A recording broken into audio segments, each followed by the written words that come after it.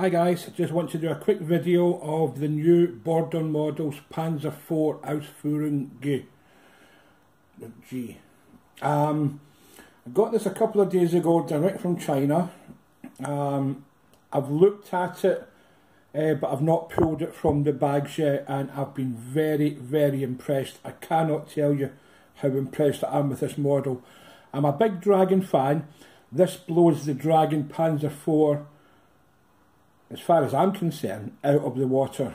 Uh, also, the price too, with shipping from China, it was £35. So it was a really, really good buy. There's lots of goodies in it. Let me show you first of all uh, the instruction a leaflet, a pamphlet. Uh, very, very clear. The history first of all of the Panzer IV and a couple of photographs, uh, which is handy. This model actually gives you uh, a few extra T34 track links to put on as additional armour, as they did actually do during the war.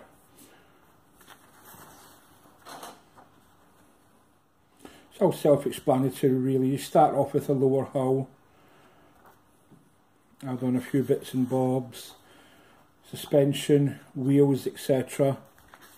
All usual stuff. Very clear though, very clear. Nice instructions. Tracks, put on the tracks. Uh, the shirts would come as uh, etched metal, brass sheet, very very nice as well. I'll come to them in a minute. Uh, the tracks are link and length tracks so it's a good compromise of the guys that don't like the rubber band tracks and the guys that think that the individual track links are too hard or, or too too much time to assemble. So these are link and length tracks, so I think it will please most people.